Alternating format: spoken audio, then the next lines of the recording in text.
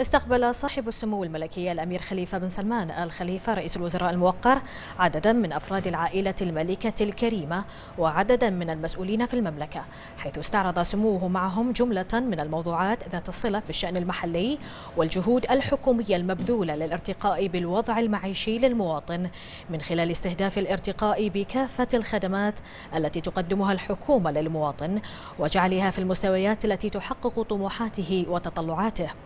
وخلال اللقاء أكد صاحب السمو الملكي رئيس الوزراء أن مملكة البحرين وطن يحتضن الجميع وشعبه ودود ومضياف ولذا أصبحت المملكة مقصدا للعيش والسياحة والعمل وهذا مبعث للفخر والاعتزاز.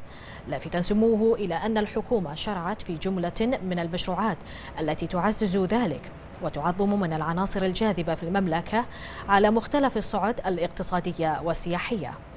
وحث صاحب السمو الملكي رئيس الوزراء على أهمية الإعلاء من قيم التواصل والترابط في مجتمع على صعيد الأفراد والعوائل الكريمة والاهتمام بانتقال ذلك عبر الأجيال.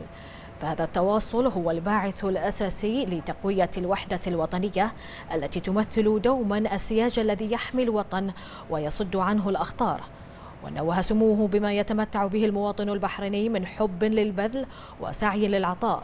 جعل البحرين تسطر قصص نجاح في العديد من المجالات.